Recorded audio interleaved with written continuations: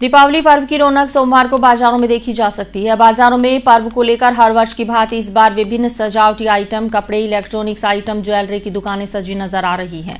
बाजारों में शहरी क्षेत्र के लोगों के साथ साथ ग्रामीण क्षेत्रों के लोग भी पहुंचकर खरीदारी का लुफ्त उठा रहे हैं। वहीं पर्व के बाद शादी की सीज़न के चलते भी बाजारों में अच्छी रौनक देखी जा सकती है।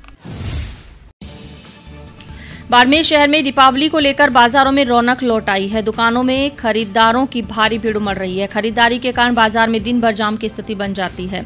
सुबह से ही लोग बाज़ार पहुँच रहे हैं। दिवाली के लिए कैलेंडर, नए कपड़े, रसोई के सामान बंधन बार मालाएँ, आभूषण, घर के सजावट के सामान, गिफ्ट व बच्चों के लिए मिट्टी का घरोंदा आदि की खूब खरीदारी हो रही है।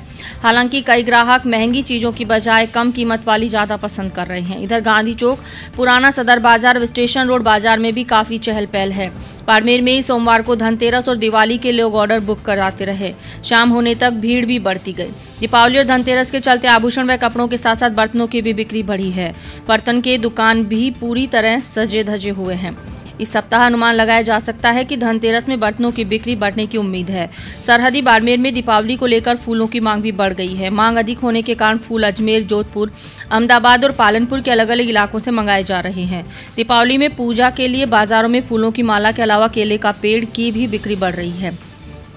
केले के पेड़ को लोग अपने घरों और दुकानों के बाहर लगाते हैं। इस बार बाज़ार में रेडीमेड केले पत्ते भी उपलब्ध हैं।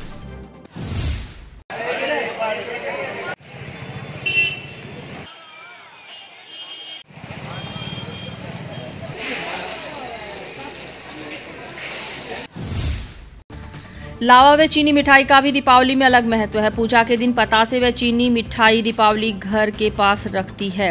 बाज़ार में लावा और रंगीन चीनी मिठाई की दुकानों में भी भीड़ देखने को मिली। लोग खरीदारी भी कर रहे हैं। दीपावली के दौरान बच्चों के लिए मिट्टी के घरौंदा और दिए बेहद खास होते हैं। इन दिनों शहर के पुलिस लाइन रोड में तरह तरह के आकर्षक घरौंदा बिक रहे हैं। कई लोग इसे खरीदारी भी कर रहे हैं। इस वक्त बाज़ार में दियों की कई वेरायटी के साथ अलग अलग रेट भी तय की गई है।